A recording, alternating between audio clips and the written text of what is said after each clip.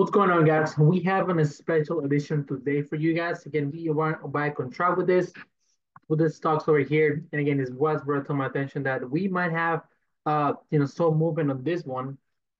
We've been having a nice chart record as far as, you know, this, you know, our special edition so far been performing so far. So I think that we are on the right track here. Now, actually, I've been reviewing this setup and it seems that we are ready to make some move, right? So the ticker name is ATNM. It's Actinium Pharmaceuticals.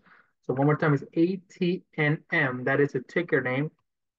And this one is, I'm gonna tell you why I'm actually like I traded on the past. I mean, I really this one is being performing absolutely crazy, right? When I actually traded this in, in the past, I traded when it was like around five, going all the way to like eight. That was my trade. And since then I haven't really touched it because you know it was trading on a range. And again, I was distracted on different things. But now, man, it really got my attention because they reported data on Friday, right?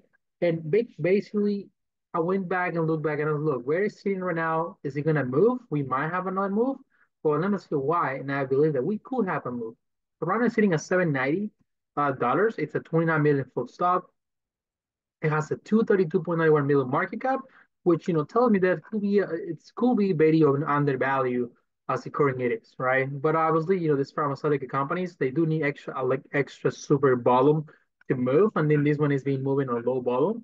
But even though, I mean, it's been having a very big swing prices, right? You see, it's been going from six all the way to like tens, making you know higher highs, which also you know is a bullish continuation, or you know bullish signal. We can see on the daily chart, even though we are trending below the EMAs, we are near support and we are near the 200, right? So that can kind of like tell me we might have a potential bounce. Now, this is what I actually draw out, right? As you can see here, we are being on an uptrend channel, basically. So we're back to that bottom range of the channel, which tells me there is two channels, there is two scenarios. Either we bounce, breaking out, you know, the EMAs and obviously, you know, shooting up for near highs, or we don't break out, we continue the downtrend and we go back to Tesla 200 right, which is sitting at 731. So if that happens, then obviously, you know, it's not the best scenario, of course, but based on what's happening, in my opinion, this is what we could happen. So also looking at the four-hour chart, we can see that we have this, uh, you know, descending uh, triangle here that obviously is getting tight.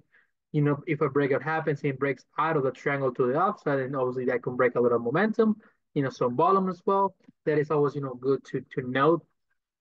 Looking on the database, they do have 75.75 million cash. They have 31.63 months per cash, and they're 5.5% owned by insiders. So obviously, they do have enough cash, so they don't need to make an any offering. In my opinion, I don't think they have to break into the table. And this is what I'm talking about, right? They present, they have this oral presentation improving, and obviously presenting this, you know, one of the drugs. What I really like about this one is, you know, they you can see right here the results, long-term efficacy results on the patients with active relapse or refractory acute myeloid leukemia. Leukemia is a very, uh, you guys know, one of those bad, bad diseases that it's really hard to find, you know, cures for it. And, and the fact that they're actually working on this and they have, you know, they're already presenting this good data for it, I think it's going to really attract, you know, a lot of buyers who potentially a lot of, you know, money flow into this.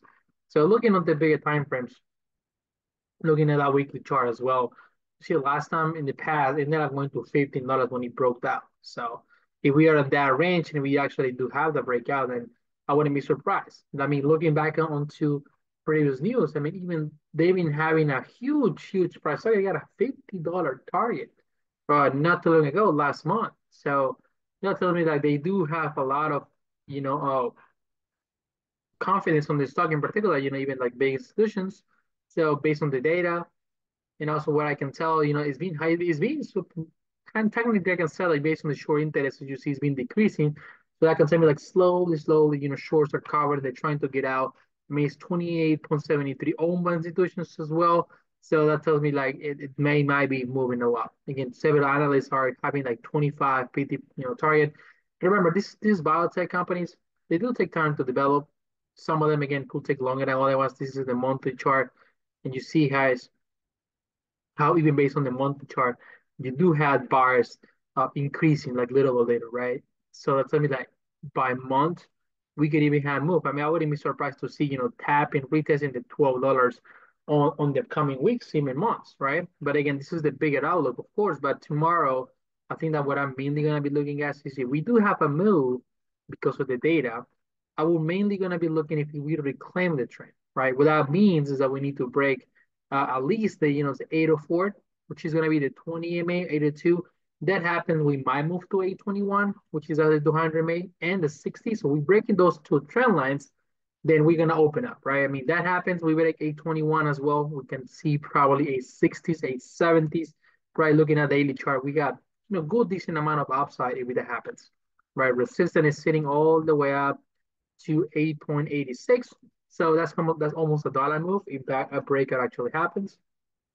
So we're just gonna keep an eye on this one, guys, if it happens. Again, I'm, I'm gonna be guiding through the chat, you know, through the Alpha community, every step what we do, right? Throughout the day, if we have any update, if we have any news, if we have any bounce, breakout, everything's gonna be updated to the community. So again, if you wanna be part of it, sign up. Link is gonna be in the description, guys. So you're gonna be part of the team. But other than that, have a great day, guys. I mean, the market, it's gonna get crazy this week, knowing that we have a short week but we're not staying behind. We are taking every single opportunity. All right. So be safe. Now take care and I'll see you guys on the chat. Bye guys.